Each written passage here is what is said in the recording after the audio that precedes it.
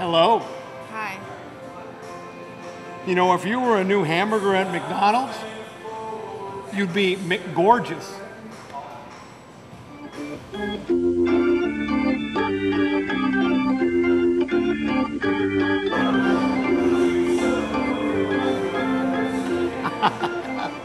you know, if I were to reconstruct the alphabet, I would put you and I together. What do you say?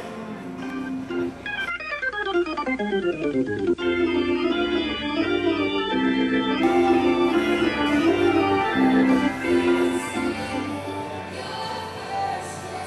what's a nice girl like you doing in a place like this? I got the ship, you got the harbor.